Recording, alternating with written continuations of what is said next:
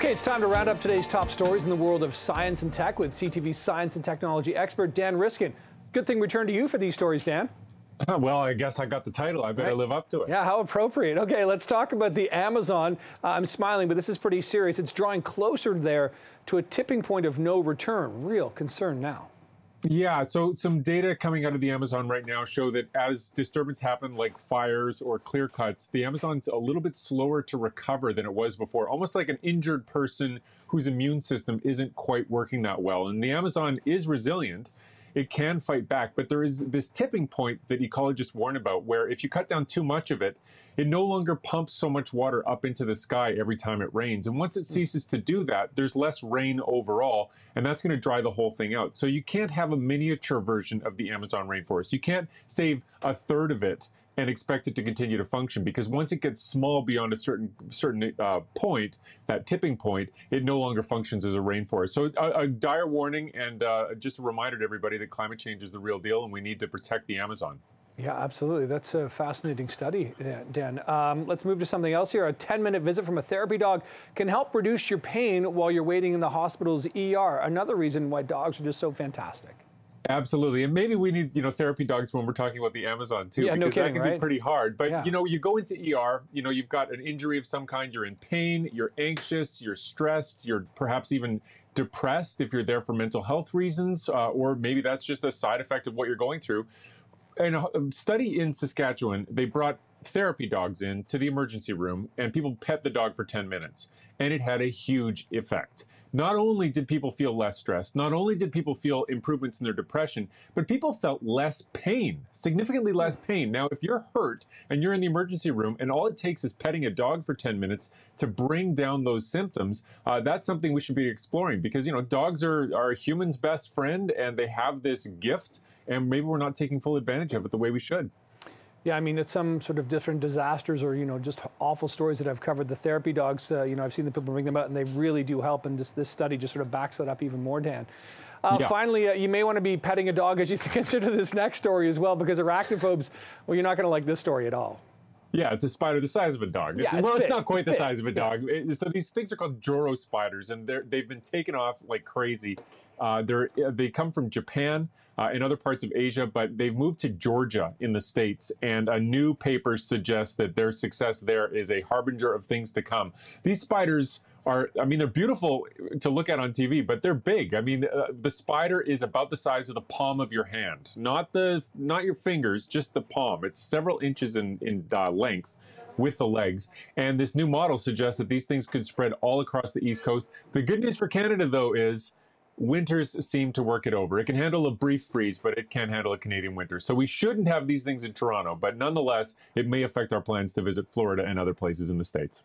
Okay, yeah, a spider the size of the palm of my hand, that's that's a concern, Dan. No doubt about that. But again, thank goodness for winter. And thanks for Dan Riskin being here as well. Great to see you, Dan. We'll see you next week. Have a good one. Thanks a lot. You too. And a new poll out from Maru Public Opinion finds that a sizable majority of Americans are supporting U.S. President Joe Biden's decision to ban Russian oil imports, and more Americans would support a restart to the Keystone XL pipeline project. John Wrights, the Executive Vice President at Maru Public Opinion, joins us now live with more of the findings of this latest poll. Good morning, John. Thanks so much for this. Um, it's really fascinating here. You know, one of the first things Joe Biden did as president was cancel Keystone XL. Now it seems, according to your polling, a majority of Americans would like him to reverse that decision. How do you interpret that? Well, a couple of ways. Number one is that when faced with losing 8% of the energy um, um, that has been shipped in from Russia, and secondly, with the high price of gas uh, in the United States, there's certainly uh, you know, Americans looking to other sources to fill the gap. So it's it's primarily a bipartisan approach to this, where both Democrats and Republicans are in favor. And secondly, it really does reverse what uh, President Biden brought in to uh, satisfy Democratic side of the vote. So it's a good boost, but the question is whether or not we'll be able to fulfill it. And that's a, a real problem right now because the company that put the billions of dollars behind the Keystone Pipeline, in fact, withdrew it because of protests. Right now, uh, workers want to get back to work, and Americans want prices down, and they want Canadian oil. And it's interesting, John, you know, when it comes to polling, and you've been doing this for decades, when you see that kind of bipartisan agreement on an issue in a country as divided as the U.S., maybe just even over the last several years, how rare is it to see so many Americans on the same side of an issue? Well, it's very rare. I mean, you don't get this kind of uh, bipartisan agglomerate who want something done for the country. But these are unprecedented times. I mean, uh, it's not just what we're seeing on television in terms of you know what's going on in Ukraine and the response to that, where 82% of Americans stand shoulder to shoulder with Joe Biden. But just as you're showing right now, the amount of uh, price that's at the uh, at the gas station, Americans believe that this is something which, in fact, would help bring that price down. So uh, it's going to be difficult to have the pipeline built. Um, the real short-term uh, issue is producing about 200,000 barrels a day, but getting it to the United States where there's going to have to be increased capacity on rail in order to do that. So mm-hmm. uh, when you look across the country on the polling, it, there's a lot of support for that right now. You know what I also found interesting about this, John, is the fact that Americans, you know, chose Canada first in terms of a replacement to that oil. Uh, some people may suggest that Americans are, are, unaware of Canada's actual ability, or at least, you know, reserves of oil available. Uh, but Americans seem to look to Canada first. Do you have any in insight as to why that is? Why they look to Canada before other, you know, the more traditional oil-producing countries that we talk about internationally? Yeah, I, th I, think a lot of it just has to do with affinity. I mean, when you're uh, faced with a choice of Saudi Arabian oil, Venezuelan oil, and Mexican oil, the gravity of the of the United States tilts north and looks to Canada. I think there's again there's a, a great affinity and respect for Canada. Um, not a lot of Americans are tuned in to what the issues were, and we have to say there were very controversial issues around the pipeline being built. But yesterday there was a press conference held by workers in America uh, who who had worked on the pipeline that want to get back to work. This is a, a, time when that voice, in fact, can resonate and bring Canada into the picture. It's interesting, John. Too. You know, there's a whole idea of like clean or corrupt oil or dirty oil, depending on yep. where it comes from. I suppose Canada would very very much be seen as a much more um, you know, satisfying uh, source of oil, considering all the politics and environmentalism that comes around uh, oil production? I think there's a view of Canada being a pristine country. I mean, it's almost like tourism. When you kind of look to where you want to go and what we have here, it's the world next door in terms of the kind of people that Americans see. Um, the reality is that when you trade that off against Venezuelan oil, against Mexican oil and Saudi Arabian oil, you get a, a sense that uh, that Canada being closer would be able to supply the oil quicker. Well, that's probably not the case, except in a short term, about 200,000 barrels a day, as I said. But, but Americans now are looking to the gas prices at their pumps. They have to replace 8% of their entire energy because it's been banned from coming into the United States. The affinity for Canada being closer, in fact, probably plays into that. Mm-hmm. Um, but we're going to have to uh, sort that out over the next, you know, um, year. It's not just going to take, uh, you know, days to do this. So uh, what it does, though, is open the political capital for Joe Biden because right. these are uh, numbers that he could use. Yeah, that's pretty significant indeed. Always interesting to get that sort of political pulse of the nation.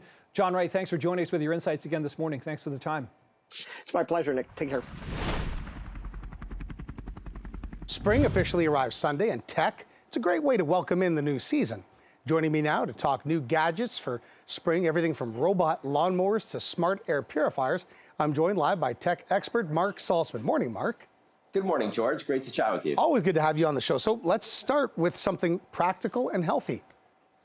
sure. So spring often marks the start of allergy season for many. So air purifiers are a popular purchase. And 3M has their Filtrete Smart air purifier. What does it mean smart? Well, it's got a laser based sensor that reads particles in the air like pollen, that's my nemesis, dust, pet dander, and more. It continuously monitors the air quality. And it also has this auto mode that adjusts for span, uh, fan speed on the fly. So you don't have to do anything. But there is an app that lets you control it from anywhere and see information like in graphs. You can use your voice with a smart speaker to say something like, ask Filtrete for the air quality and you're going to get that kind of information. So again, becoming very smart. 349 for the medium version, 399 for the large Filtrete there. And then when you leave your home, you want to bring a lightweight laptop with you. This is the Asus Chromebook Flip CM3. It's a ultra lightweight laptop that's only 1.1 kilograms, so super portable, and lets you bring it to you know a coffee shop, to a park bench, to the office, and you can leave the charger at home because it has a battery that lasts up to 16 hours. And as you can see, it's on a 360 degree hinge. So it's a laptop, it's a tablet, and it supports other modes. And Chromebooks have built in virus protection, a huge app store, uh, instant startup times, and the price is great, only $4.99 for that Chromebook. Oh, great. Well, let's keep pulling on that uh, portability thread. What's new and exciting with projectors?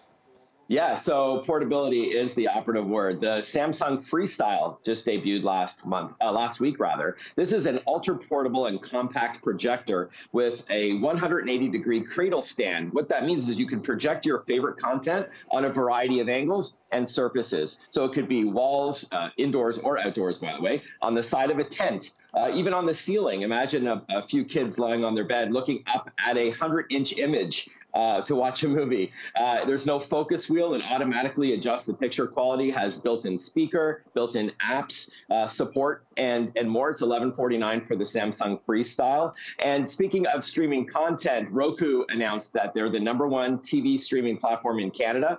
They have these inexpensive uh, sticks. You know, $65 for the Roku Streaming Stick Plus, uh, the 4K model. That is just plugs into a TV, lets you access all your favorite uh, free channels as well as subscription subscription services like Crave or what have you. Can sign into Bell Fibe and watch it on a non smart TV because this is what has the Wi Fi and stronger Wi Fi at that with mm-hmm. uh, twice the speeds now. Good stuff, only 65 bucks for that Roku. Great, Mark. And let's wrap up with something for fans who feel the need for speed and, and a robot that'll chip in with the yard work. Sure. So first, Gran Turismo 7 just came out for the PS4 and PS5. This is the latest in the best-selling car racing franchise that has sold 80 million units since it debuted a quarter of a century ago. So Sunday doesn't just mark the start of spring, but also the beginning of the F1 season. You can also race NASCARs here. Uh, there's over 400 cars in total, over 90 tracks. There's dynamic weather that is not real. That is photorealistic graphics right there. $79 for the PS4 version, 89 for the PS5. And then finally, yes, a robotic lawnmower. This is amazing. The Husqvarna 430X Automower uses three razor sharp blades to quietly and autonomously cut your grass while you watch on maybe sitting in your favorite Muskoka chair. There it is right there.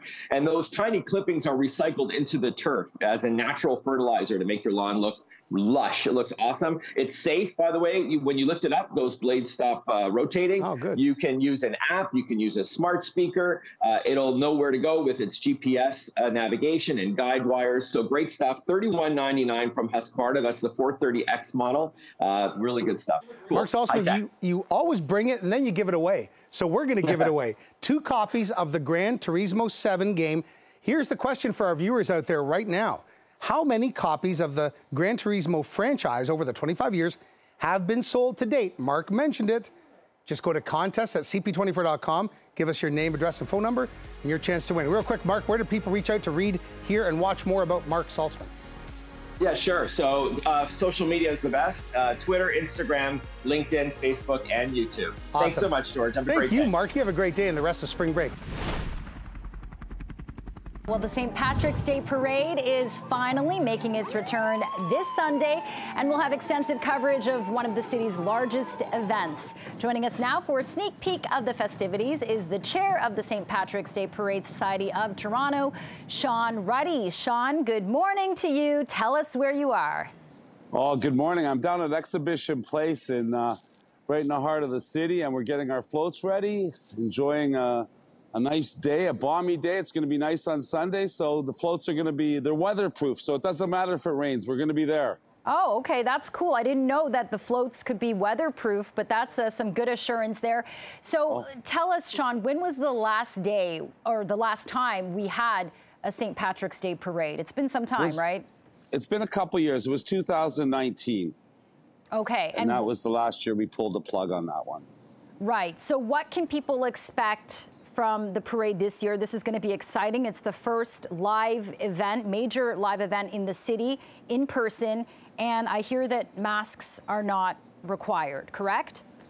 Masks are not required. That's uh, unless it's uh, city employees. They may be required because they're marching in uniforms, maybe the Toronto Fire. But having said that, the Toronto Fire will be busy collecting for our food bank, Daily Bread Food Bank. So we're asking people to support that initiative. Mm-hmm. And uh, the, the, city's looking good. We're open for business. The city's alive. St. Patrick's, no better way to bring the people out than through that event. Yeah, absolutely. Uh, I, th- I, think Sunday is going to be pretty nice temperature as well, sunny and bright. Not as warm as today, but pretty good. So take us along. What's what's the path? What's the route of the parade this year? The route is at St. George and Bloor at 12 o'clock on Sunday, March 20th.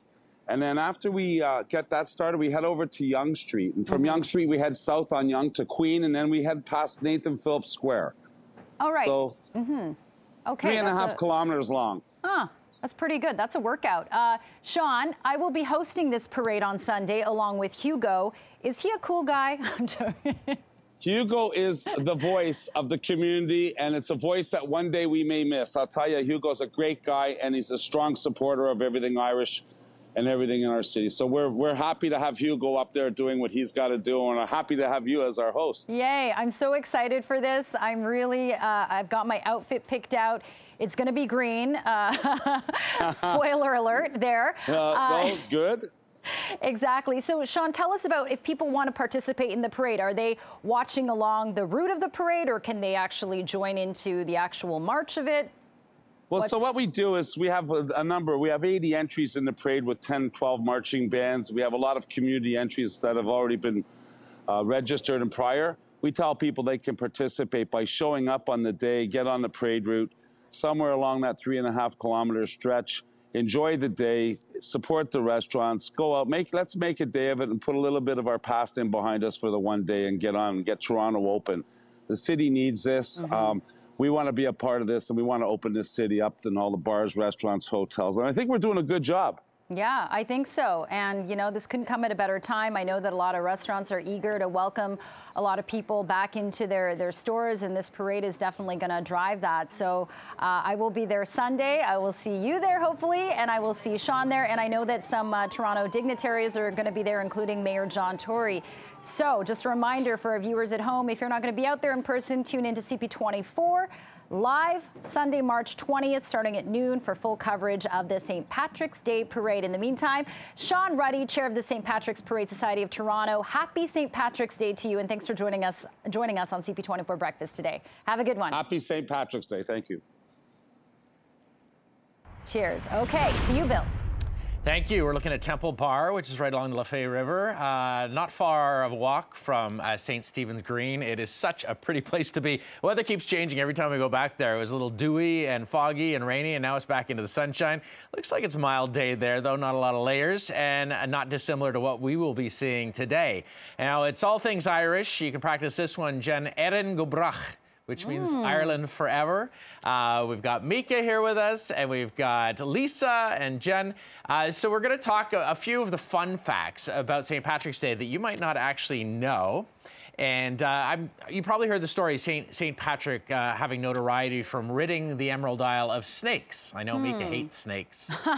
yeah, don't talk snakes. Did you know there's actually no fossil record of snakes in Ireland. It's an island, and uh, you know, before modern times, it was covered in ice uh, as, as the plates moved. So there were no snakes in Ireland. So it was an allegory for obviously driving out probably uh, in the religious terms, sin and bringing the, the word of, of, uh, of religion and, and, the Lord to, to Ireland. So that was the story. Wow. No snakes. Ooh. Mika, you can open your eyes again. the rattlesnake oh, tail is gone. That's the second thing I got to ask you is when do you think the first Saint, where and when was the first St. Patrick's Day parade? When do you think? Hmm. It'll probably surprise. I'll narrow it down. It's a state in the U.S. Oh. Oh. Mm-hmm. Pre pre uh, they come together, United States. Mika says Boston. Mm, well, that was one of the Boston? earlier ones for sure. New York and Boston were early, but believe it or not, the first one, and it predates uh, the United States of America, was in Florida, what's now what? known as St. Augustine, Florida, in March 17th, 1601. There's a Spanish colony there, and the Irish vicar Ricardo Artur uh, had the first Wow. parade. I would uh, never have guessed I Florida. wouldn't, wouldn't have guessed that either. Doing a little research. Interesting. The next thing I would have is thought, uh, yeah, I would have thought Chicago, Boston. New York. they New were York the City? earlier ones, yes, Yeah. and they continued and they grew bigger from from those in more modern times. Uh, cabbage, uh, a lot of people uh, liken the foods to be eaten. Uh, cabbage and corned beef, uh, but that was actually not an Irish tradition. It was an Irish American tradition, and what happened was they would uh, in the 19th century and early 20th. Uh, they would purchase leftover corned beef from the ships returning from the tea trade uh, from China, and then they would cook it three times. Uh, twice just the corned beef, and then last time with cabbage to remove some of the brine. Wow. Interesting, right? A lot of things you didn't know. Yeah. And finally, Mm. leprechaun. This one's probably a would little bit know. more obvious. Uh, where do you think the leprechauns come from? Or the idea of leprechauns? Lucky Charms. Possibly. It's like All the the chicken and the egg. What came first? Uh, maybe an old folkloric tale? Uh, a you know, gnome. Yeah, Celtic uh, tradition. Yeah, They believed in Celtic fairies, and uh, it's kind of believed that the leprechaun uh, was uh, kind of a, a cranky old old uh, fairy that was actually responsible for mending shoes of other fairies. And uh, there's another word uh, that way dates back in, in folklore, loberkin. Uh, which means uh, small-bodied fellow, and I guess that all came together to be uh, the modern-day uh, understanding of leprechaun. Wow. That's Oh wow. pretty cool. That's fascinating. These facts, Bill. It's oh fun, my right? gosh. You do a little bit of It's research, really even fun. on your There's own so much culture. You don't- history. yeah, you don't you don't know. So that's one to one to grow on, right? Interesting. What do you have planned for your St. Pat- Patrick's Day, Patty's Day uh, celebrations? Yeah. For me? Are you talking to me? Yeah, now? all of you. What, Oh. what are you up to? Okay, well, I guess I'll start. Um, you know, they, they people usually like we had a viewer this morning who said they're celebrating with a mimosa. Which Oh, I was like, oh, that's kind of cool. Get dressed up and drink a mimosa. But since I just came back from March break, I'm going to take a break on, you know, all things vino and Guinness. Uh, and it is actually uh, during Lent, and it's kind of a Catholic uh, holiday. So I'm going to just, uh, you know, refrain from that today. That's how I'm going to celebrate. Okay. Yeah. What about you, Mika? Well, I'm going to drink some green tea. I put some green Nice. on. I don't know if you Ah. can see some green. I put some greenery in my background here.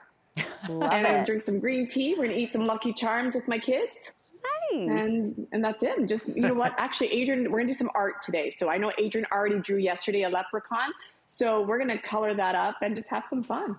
Nice. That's awesome. That's cute. I love that. I kind of felt a little bit pot of goldish today, you guys. Ah. But uh, full disclosure, I've actually never had a Guinness myself, so I actually might celebrate today. Ah. I might just try my first Guinness later on today. We'll see. Um, It's a meal. It- yeah, I, so like no dinner. That'll be my dinner tonight. Guinness. That's that's my plan. Yeah. Uh, it's great. I think you'll enjoy it. But Jen, you're absolutely right. Uh-huh. During Lent, uh, you know, people often assume that St. Patrick's Day associated with drinking because that's just how we celebrate. I think as the weather's starting to turn. Uh, but if for many it is a dry celebration, and you can do it with uh, the green tea. Sounds delicious. Mika. Yeah. Or avocado. I have avocado every day Yes. How are celebrating, breakfast. Bill? Sell me on the Not just throwing in everything that's green. Nope. Go for a walk in the park. Find a shamrock. All the green. Joining us live now with some of the films out this weekend is Richard Crouse, host of Pop Life and the Last Call podcast. Richard, great to see you again. Let's get into it. We'll start with this uh, eight episode series starring Academy Award winners Jared Leto and Anne Hathaway. Tell us about this.